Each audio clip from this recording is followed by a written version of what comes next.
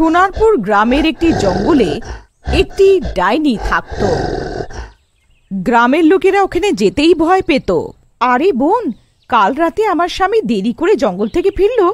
আরও বলল, ওখানে একটা ডাইনি দেখেছে। অনেক বছর আগে শুনেছিলাম সেখানে নাকি একটি ডাইনি ছিল।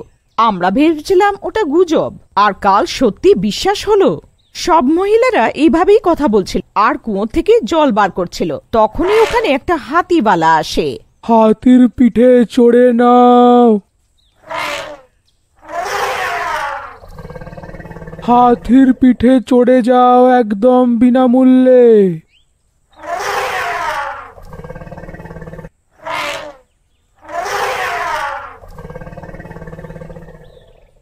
শুধু হাতি মহারাজের জন্যে কিছু দান করে দেবেন।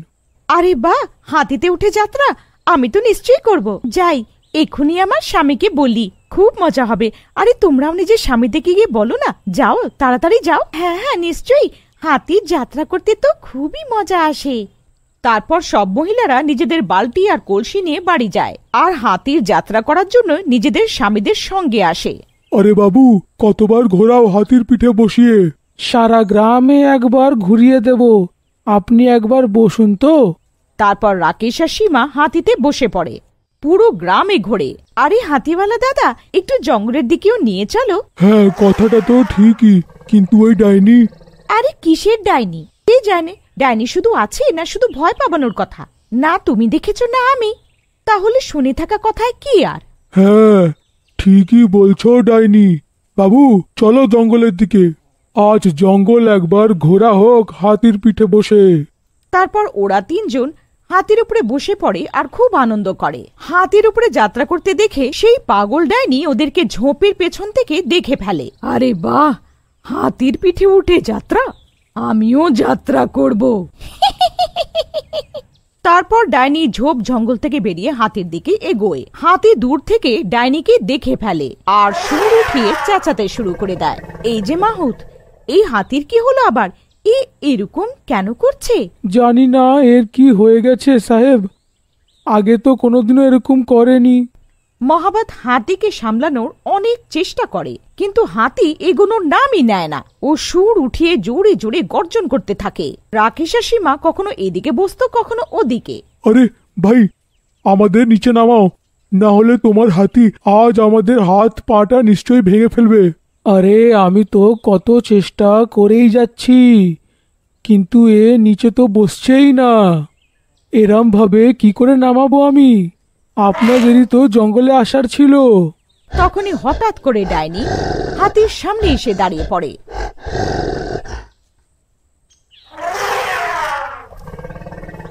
আমিও হাতিতে চড়তে চাই। আমিও হাতিতে চড়ে ঘুরবো। এই হাতিওয়ালা ডাইনি ডাইনি থাকে এইখানে। ডাইনিকে দেখে ভয়ের চোটে মহাবত ওখান থেকে পালিয়ে যায়।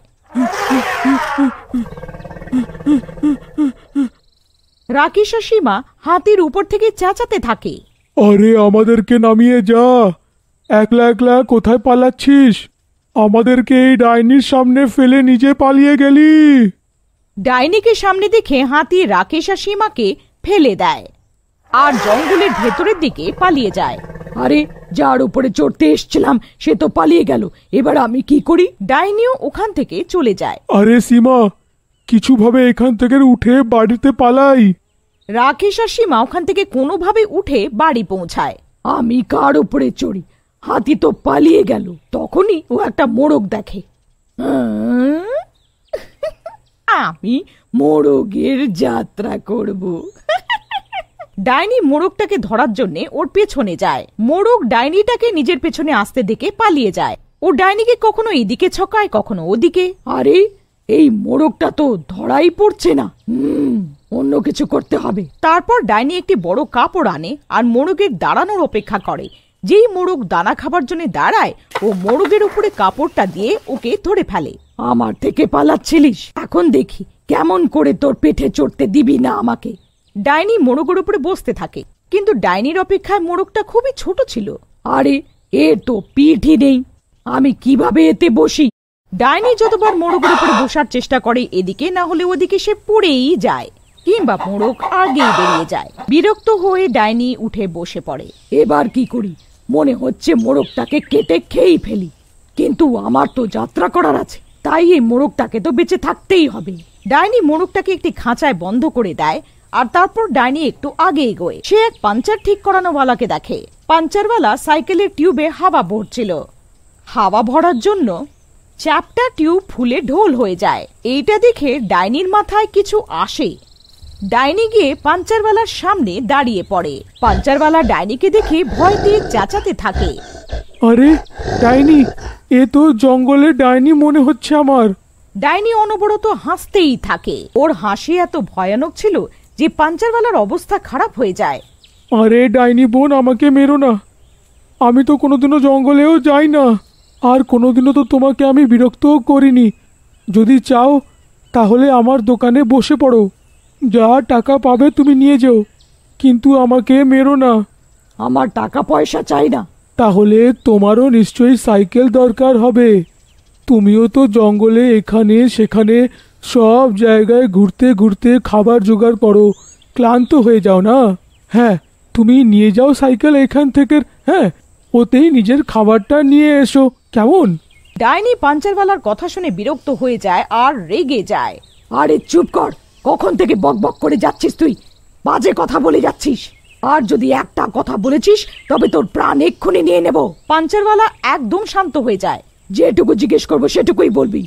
চল এখন পাম্প এনে দে আমাকে। হ্যাঁ পাম্প কিরম পাম্প না জানার ভান করিস না। না হলে এক্ষুনি এই বড় বড় নখগুলো তোর পেটের ভেতর যাবে আর অর্ধেক কথা বাইরে বেরিয়ে আসবে। আরে না না আমি আনছি পাম্প তারপর পাঞ্চারওয়ালা ডাইনিকে হাওয়ার ভরার পাম্প দিয়ে দেয়। ডাইনি পাম্প নিয়ে জঙ্গলে চলে যায়। পাঞ্চারওয়ালা হাঁপ ছেড়ে বাঁচে। এই ডাইনির আবার এখন পাম্পের কি দরকার পড়ে গেল? ভালোই হলো।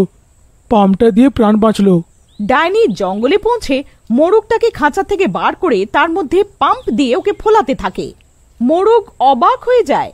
এই ডাইনি পাগল হয়ে গেছে নাকি? লোকেরা ঠিকই বলে এই ডাইনিটা একটা পাগলই। এখন এই মোরগটাকে তো বড় করেই ছাড়বো আর আমি এর উপরে যাত্রা করেই ছাড়বো। ডাইনি পুরো শক্তি দিয়ে পাম্পটা চালায় আর মোরগের মধ্যে হাওয়া ভরতে থাকে। কিছুক্ষণের মধ্যে মোরগ ফুলে বড় হয়ে যায়। ওকে দেখে ডাইনি খুশি হয়ে যায়। হ্যাঁ এখন ঠিক আছে। এখন আমি এর উপরে যাত্রা করব। এখনই আমার বসার মতন হয়ে গেছে।